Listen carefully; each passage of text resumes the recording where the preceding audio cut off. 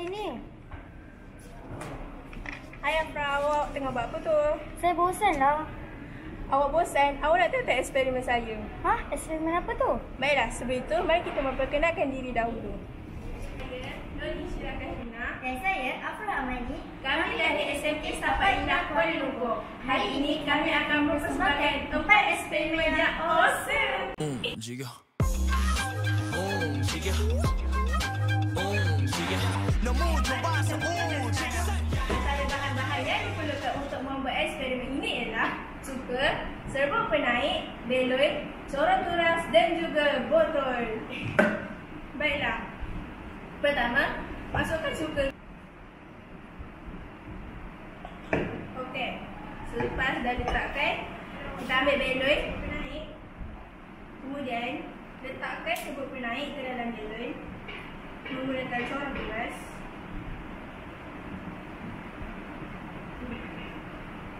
Kita dah siap meletakkan uh, serbuk penaik ke dalam belon. Kemudian letakkan belon ke dalam muncul botol.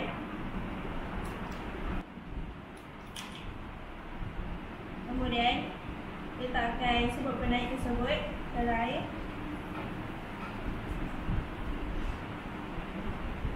Lihat, ia mengembang bukan? Wah, macam mana belon ini boleh mengembang? Baiklah, biar saya terangkan. Apabila cuka dan serbuk penaik bercampur, lalu gas karbon dioksida akan terhasil kemudian ia akan mengembangkan belon tersebut. Hebat kan? Wah, hebat-hebat.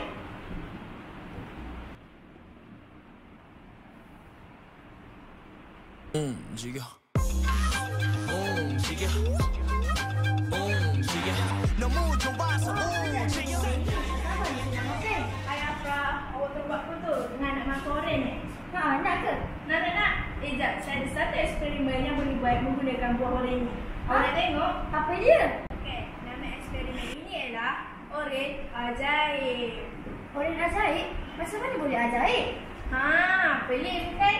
Tak apa, tak apa. Biar saya terangkan dahulu bahan-bahan yang diperlukan. Bahan yang diperlukan ialah dua biji limau, satu yang tidak dikupas, yang satu belum dikupas lagi, dua bika, satu yang berlabel A dan yang berlabel B, dan air. Tuangkan air pada bika.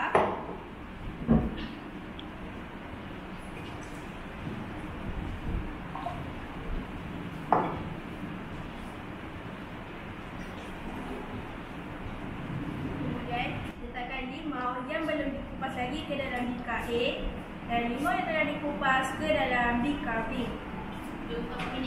Kemudian perhatikan. Afra, apa yang awak dapat lihat? Apa yang saya perhatikan ialah limau yang berkulit terapung manakala limau yang tidak berkulit tenggelam. Tapi kenapa begitu? Hal ini kerana limau yang belum dikupas lagi mempunyai pukat-pukat kecil yang membolehkan limau yang belum dikupas lagi mempunyai ketupatan yang kurang. Oh, begitu rupanya. Diga. Um, diga. No mucho pasa, um, diga. Awak dan kawan-kawan. Ha? Awak ada eksperimen juga? Sebenarnya? Eksperimen ini dibanding pam air menggunakan belon dan straw. Dengar macam menarik je. Tanpa buang masa, jom kita mulakan Syirah. Jom! Jom, jom, jom, jom. Mari kita lihat bahan yang diperlukan. Antara bahan-bahan yang diperlukan ialah air, botol plastik, ikat kecil, gunting, straw dan. Tepuk satu lubang pada bahagian botol plastik.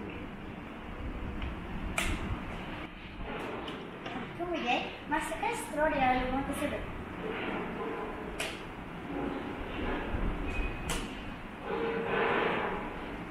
Hmm, sini. Seterusnya, masukkan air di dalam botol plastik.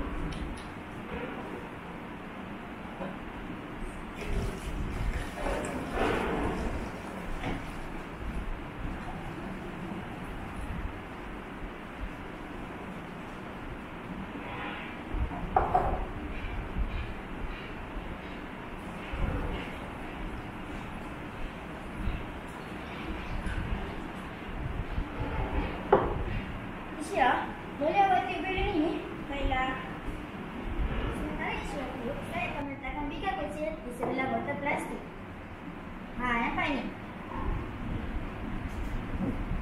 Kemudian, pasangkan balon di muncung botol plastik.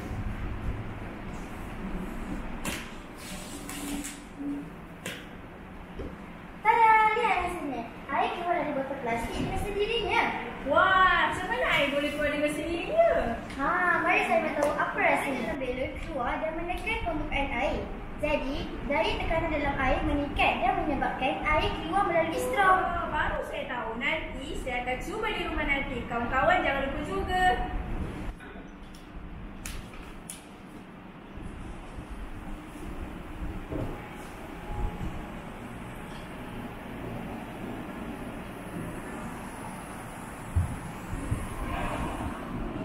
움직여 움직여 움직여 너무 좋아서 움직여 Air air saya ni kumpul dah. Tapi bukan air terapung je. Tapi mustahil air ni terapung je. Ha, cakap pasal air, saya ada eksperimen yang melibatkan air.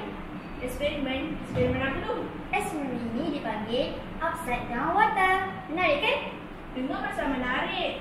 Jom kita buat. Saya dah tak sabar ni. Jom, mudah je. Iaitu tadi, dalam, empat cawan, kita pelekat, gunting dan akhir sekali ialah air. Pertama, kita perlu sama panjang. Kemudian, kita perlu letakkan tadi secara bersilap di bawah talam.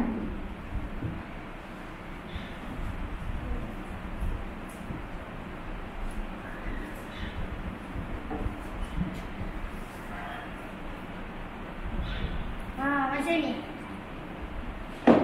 Seterusnya, kita perlu letakkan pita pada tali di setiap penjuru agar tidak longgar. Isya, boleh membantu saya? Baiklah.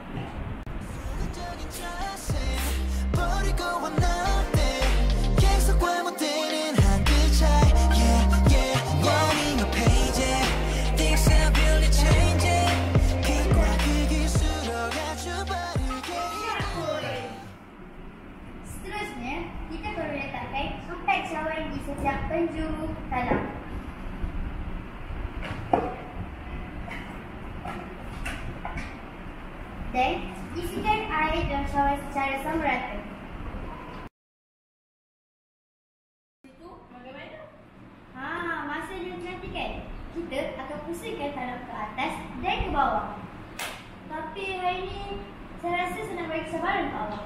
Apa kata awak yang pusingkan talam ini ke atas dan ke bawah? Hmm, tak apalah. Saya dah sabar cabaran awak. Yeay! Nantikan.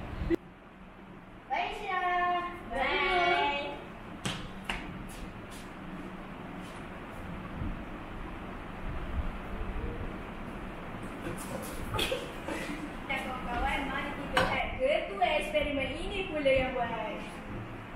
Bulat.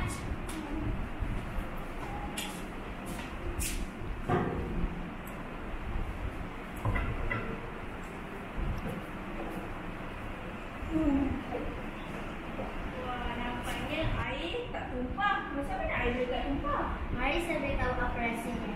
Ini kerana daya terlibat dalam eksperimen ini adalah daya memusat atau daya centripetal.